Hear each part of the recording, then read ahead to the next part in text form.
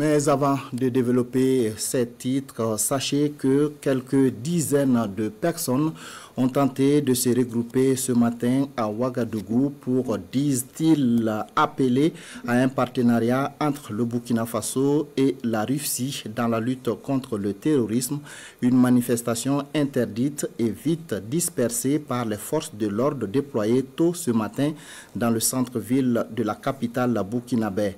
Regroupement de manifestants également à Bobo Dioulasso, comme vous le voyez sur euh, ces images. Parti de la place Tiefo Amoro, les manifestants se sont dirigés vers le grand marché de Bobo Dioulasso pour euh, obtenir des commerçants la fermeture de ce centre commercial face au refus catégorique euh, des commerçants et au dispositif sécuritaire. Les manifestants se sont vus obligés de replier.